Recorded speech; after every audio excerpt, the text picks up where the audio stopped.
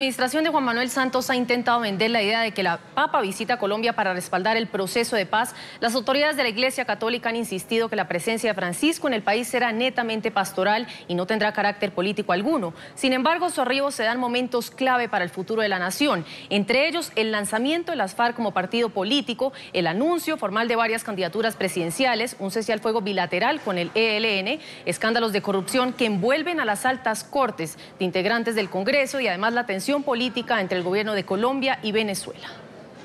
Que un papa visite un país mayoritariamente católico no es extraño. Se entiende como parte de la labor pastoral de una iglesia que quiere recuperar a sus fieles en el mundo luego de múltiples escándalos que han salpicado su imagen. En Colombia, los principales alfiles del gobierno, así como las autoridades eclesiásticas, han reiterado que su santidad trae un mensaje espiritual y no político. Yo creo que el Papa no va a respaldar como tal el tratado firmado por el presidente Santos y las FARC. Pero la realidad es que en Colombia y en todas partes, ahora y siempre, la incidencia política del Papa parece inevitable. ¿Y cómo no serlo cuando es él mismo quien ha vinculado la religión con la política? Coinvolgerse en la política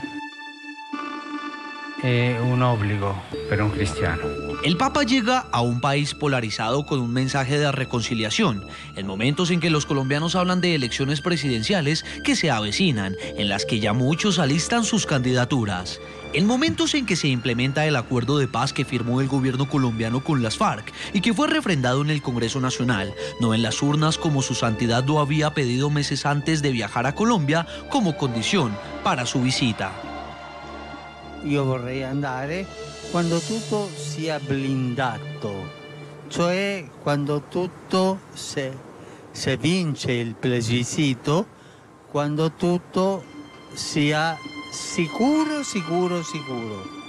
Algunos sectores insisten en señalar al presidente Santos de estar politizando un viaje de carácter netamente religioso, un viaje que no respalda a un gobierno sino a la paz, esa que es de todos los colombianos. Supera totalmente lo que fue la firma de las FARC, que como tal pues ya se dio.